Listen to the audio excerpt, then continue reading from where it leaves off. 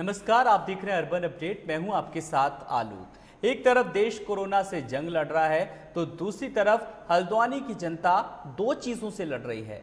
एक तो कोरोना और दूसरा कूड़े के ढेर से निकलने वाली जहरीली गैस। यहाँ कूड़े के ढेर के बीच लोग मास्क लगाकर योग कर रहे हैं। एक रिपोर्ट देखिए।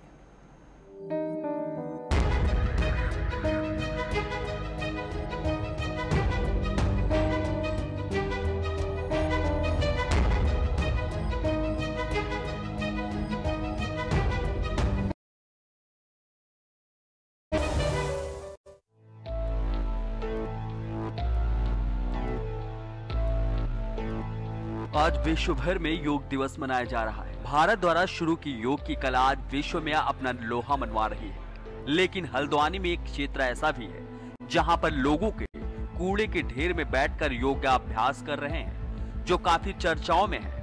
यहाँ टंचिंग ग्राउंड पर करीब 90 लाख टन कूड़े के ढेर पर मुँह में मास्क पहनकर योगा अभ्यास करते हुए पीएम नरेंद्र मोदी को एक संदेश भेजा है, जिससे कि वह कूड़े से आ रही गंध से बच सके। ये तस्वीरें हल्द्वानी के ट्रंचिंग ग्राउंड की है। यहाँ लाखों टन कूड़े की बदबू से परेशान लोगों ने कूड़ों की बदबू के बीच अनोखे अंदाज में योगा कर रहे हैं। प्रथम विश्व योगा दिवस पर आप सभी को बधाई, केवल मुख्यमंत्री और कैबिनेट को छोड़ के। क्योंकि अगर हम उनको बधाई देंगे भी तो वो नहीं सुनेंगे क्योंकि वो बहरी सरकार। काफ़ी वर्षों से मीडिया के बंधुओं को भी पता है, क्षेत्रीय प्रशासन को भी पता है कि इस ट्रेंचिंग ग्राउंड को लेकर हम सड़क से हाई कोर्ट दे हाई कोर्ट ने जो है एक फैसला दिया जिसमें कहा नगर निगम हल्द्वानी, उत्तराखंड सरकार को रिस्पॉन्सिबल बनाते हुए कहा गया कि नौ महीने के अंदर आप यहाँ पर सॉलिड वेस्ट मैनेजमेंट प्लांट लगाएँगे। लेकिन ये सरकार कोर्ट का फैसला भी जो है दबा के बैठ गई। आज हम प्रदेश सरकार को मैसेज देना चाहते हैं कि उत्तराखंड जैसे खूबसूरत जगह को आपकी सरकार ने आपके सिस्टम ने आज एक कूड़ा घर बना के रख दिया है, जहाँ पर आम आदमी का सांस लेना भी दूभर हो गया है।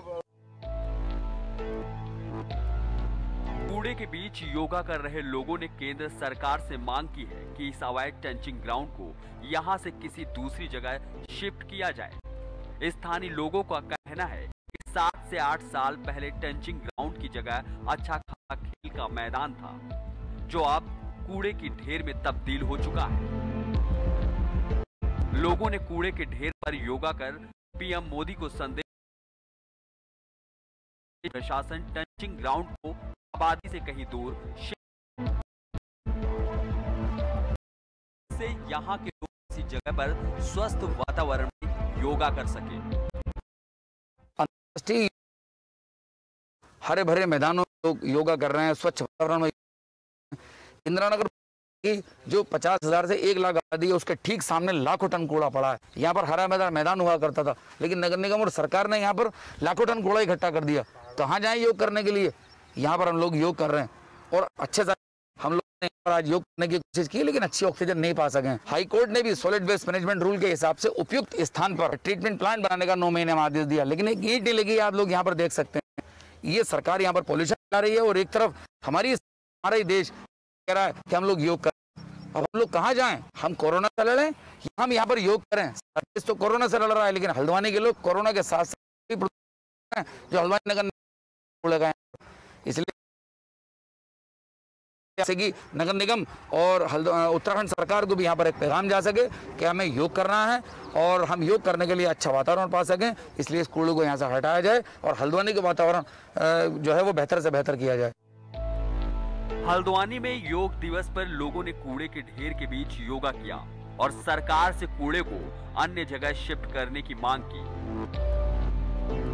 अब देखना है कि क्या लोगों की इस तरह की पहल से सरकार कूड़े को दूसरी जगह शिफ्ट करती है या फिर यहाँ के लोगों को इसी कूड़े के बीच रहने को मजबूर रहना पड़ेगा? लाइव टुडे के लिए हल्द्वानी से पंकज राणा की रिपोर्ट।